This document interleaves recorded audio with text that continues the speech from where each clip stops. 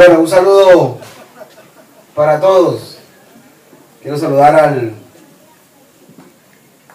al alcalde de la localidad, a César Mercado, a los secretarios del distrito que nos acompañan, a Meredith Zamora, representante de la comunidad, a la niña que nos daba las palabras.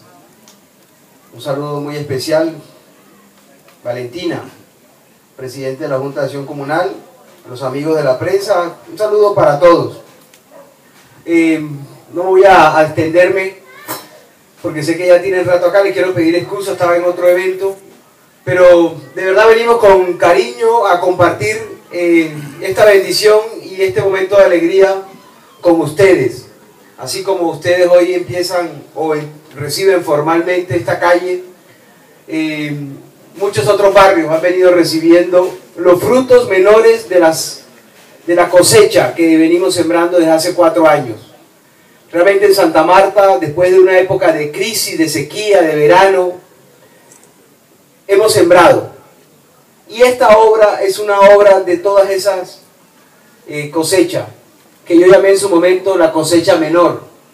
Porque la cosecha mayor de los árboles que hemos sembrado la vamos a recoger en los próximos meses y en los próximos años y en las próximas décadas.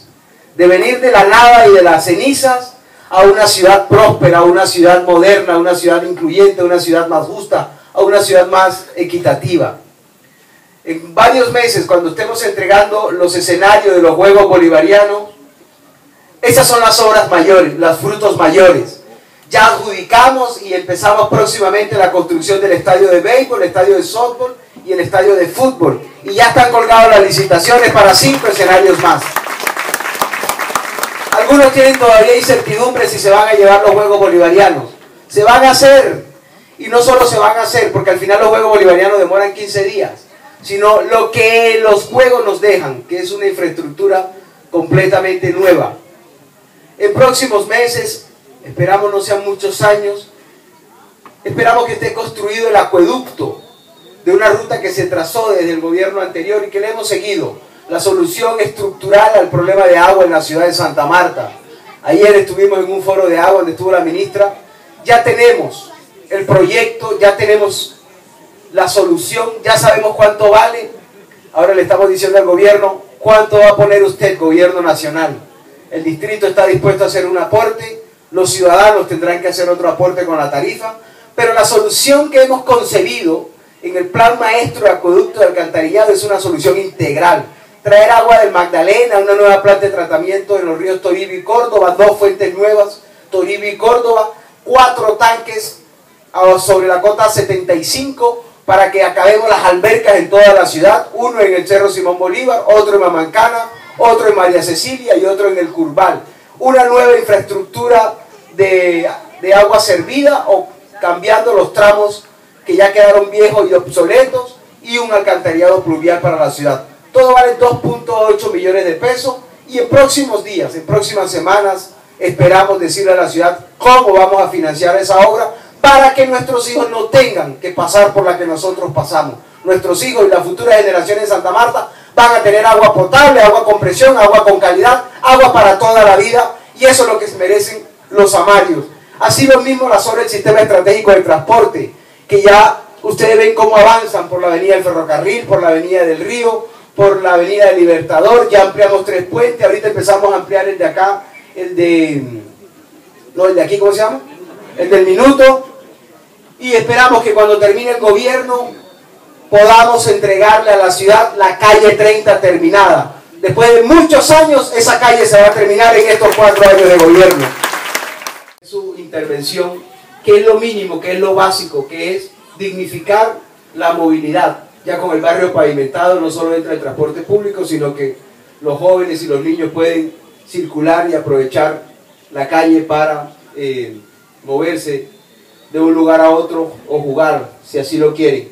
Yo no me quiero extender, simplemente quería venir, saludarlos, dejar de presente que esta es una inversión de 116 millones de pesos, agradecerle al comité que se conformó para la pavimentación de esta calle por, por creer, por organizarse, por convocar a la comunidad, decirle a la comunidad que hay que seguir trabajando en equipo, que se hicieron actividades para recoger recursos que luego se invierten en esto o se pueden invertir en el mejoramiento de la ornamentación, iluminación, pintar fachadas, en fin, podemos solucionar otros problemas. Si ustedes se organizan, por ejemplo, e instalan un poste, e instalan una cámara, con las especificaciones de las cámaras que estamos instalando en la ciudad para mejorar la seguridad, podemos pedirle a la policía que incluya la cámara en la central de monitoreo y el barrio quede monitoreado directamente desde la central de, de monitoreo de la Policía Nacional. Todas esas cosas las podemos trabajar conjuntamente y en equipo. Aquí se trata es de que los ciudadanos sigan teniendo confianza en un gobierno que representa sus intereses. Seguramente en el pasado muchos vinieron a buscar sus favores electorales o sus votos con mil promesas, promesas que seguramente no cumplieron. Aquí estamos cumpliendo lo que prometimos, darle continuidad a todas las obras que dejó iniciada el gobierno anterior. Y estamos cumpliendo lo que prometimos abrir en este periodo. En este periodo prometimos pavimentar 500 calles, ya vamos abriendo más de 25 frentes de trabajo y esperamos obviamente que el otro año podamos triplicar las calles que estamos pavimentando este año. Así que, mi querido comité, muchas gracias por la invitación, gracias por esta convocatoria.